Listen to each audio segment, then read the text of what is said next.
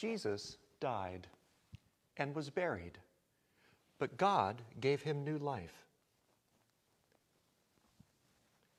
And his friends saw him. Peter and John, Andrew and James, Matthew and Thomas, Philip, Bartholomew, and Thaddeus, Jude, Simon the Zealot, and some of Jesus' friends were women. This is Mary Magdalene. And Jesus was among them for 40 days. And he ate and he drank with them and talked with them and blessed them. But then he went away from them to be with God, to be everywhere at once, like God.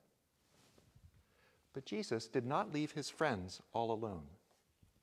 He sent his Holy Spirit to live in their hearts, to fill them with his power and his love so that they could go forth and tell the good news to all people everywhere that Jesus is risen from the dead and he is Lord.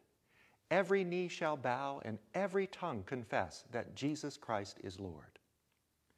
God gave Jesus new life, life that will never die again, to share with everyone who believes in him, everyone who hears the story and lets it change them.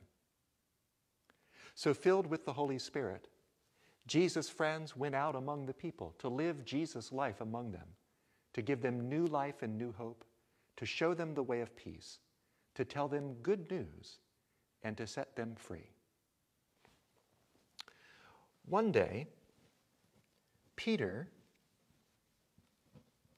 and John were going into the temple in Jerusalem.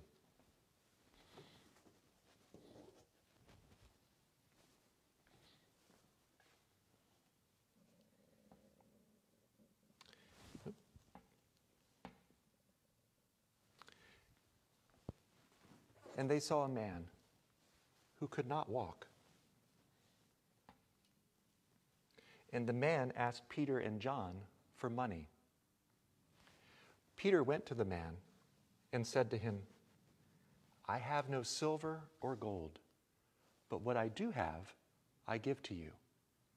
In the name of Jesus Christ of Nazareth, get up and walk.